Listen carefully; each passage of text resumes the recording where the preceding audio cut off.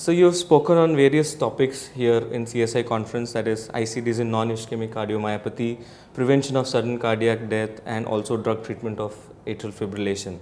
So my question to you in relation to the first two topics will be like, are there any differences in the death rates in non-ischemic and ischemic population as such? Yes, of course. Cardiomyopathy basically refers to a term when systolic heart failure takes place, the ejection fraction of the left ventricle going below 35 percent. And these patients are especially at a very high risk of sudden cardiac death and other cardiovascular mortalities. mortalities. Uh, in the ischemic disease, the annual death rates are roughly between 10 to 12 percent per year, whereas in dilated cardiomyopathy, the death rates are relatively less, uh, roughly about 5 percent per year. And that is why there has been a controversy because trials on ICD which prevents sudden cardiac death have been conducted in both types of systolic dysfunction.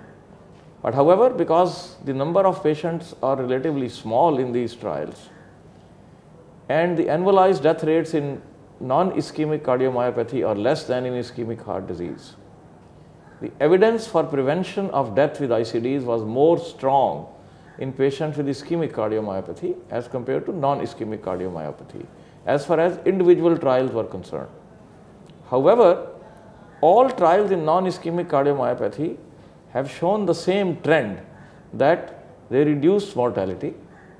But because no single trial has sufficient number of patients to achieve that statistical power, meta-analysis was conducted in the year 2004 when the first four trials on non-ischemic cardiomyopathy were published. And based on that, a strong 31 percent reduction in all cause mortality was found in non-ischemic cardiomyopathy. That was a strong base to give class 1 indication for ICD implantation in both ischemic and non-ischemic cardiomyopathy, both by the American guidelines up to 2012, heart failure guidelines of 2013 and also the European Society guidelines of 2015 about ventricular arrhythmias and prevention of sudden cardiac death. Sir, apart from low ejection fractions, are there, are there any markers for identifying sudden cardiac death uh, in such patients? In fact, that has been a major problem for physicians across the world because as of now, the only good marker that we know about is that people with low ejection fraction are at increased risk of sudden cardiac death but within that group also, it is not 100% sensitive to identify individuals who are at a higher risk. When you give them ICDs, about a quarter of them actually use the machines. Okay. The others don't. And that is why there is a problem as to how to identify within these group of low ejection fraction patients those who will be benefited the most so that unnecessary implantation in the other three quarters can be prevented, prevented, which has a huge financial burden on the society because ICDs are expensive devices. Unfortunately, a number of uh, studies that have been carried out and there has been a search for these kind of factors for a very long time, but we haven't been fortunate to identify one single risk marker or even a couple of those that can pinpoint the uh, uh, high risk patients in these groups. Both in ischemic as well as non-ischemic cardiomyopathies, the same problem exists. Several parameters have been looked at such as presence of uh, premature ventricular complexes in the Holter or ECGs, non-sustained ventricular tachycardias, um, heart rate variability, um, T-wave alternans, you know, and a host of other things.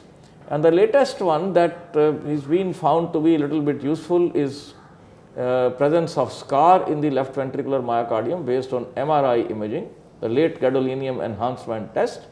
But that also is not backed as yet by randomized control trials, although there is some data that suggests that if you have a scar in the left ventricle, then the chance of death is high. And some non-randomized observational data in the literature that says that ICDs may be protective in these patients with scars in non-ischemic cardiomyopathy, whereas if there is no scar in the left ventricle and only the function is reduced, then probably there may not be a need to give them ICDs, but we are not very sure about this. The other thing that has happened in management of these patients in the last few decades is that the treatment of heart failure has improved remarkably.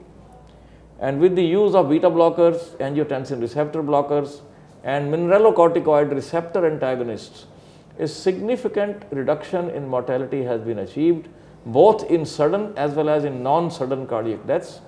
And the latest addition of ARNIs has also allowed reduction of sudden cardiac deaths in a significant proportion of patients over and above the combination of beta blockers, angiotensin receptor blockers and mineralocorticoid receptor antagonists as shown by the latest studies that are available to us. And therefore, there will be patients who will die suddenly, but it has become more important now to identify the highest risk markers so that ICDs can be given only to the appropriate set of individuals. Sir, are there any uh, preventive measures that one could look up so that they can reduce the risk of sudden death in sudden cardiac death in the patients? Yes, we must understand that the largest number of sudden cardiac deaths actually take place in the general population and they are not restricted to heart failure or patients with prior myocardial infarction and coronary artery disease. In fact, patients with prior infarction or heart failure because of ischemic or non-ischemic uh, causes form only a minority of those who die suddenly, although they are at the highest risk. The largest number of individuals die in the community with sudden cardiac death and in those the only thing that can protect sudden cardiac death is prevention of coronary artery disease because from the autopsy data 80% of the sudden cardiac deaths occur as a result of coronary ischemia. And the risk factors that cause coronary artery disease, the, the conventional risk factors like diabetes, hypertension, smoking, obesity, um, lack of physical activity, dyslipidemia, etc., etc., are the ones that should be dealt with aggressively, uh, not only for reducing uh, uh, you know hypertension and diabetes and controlling them as much as possible, but also to reduce the risk of ischemic heart disease, and that would automatically reduce the risk of sudden cardiac death. Thank you very much, sir. I think that was a very illuminating uh, talk. I, we're really pleased to have you on the show. Thank you once again.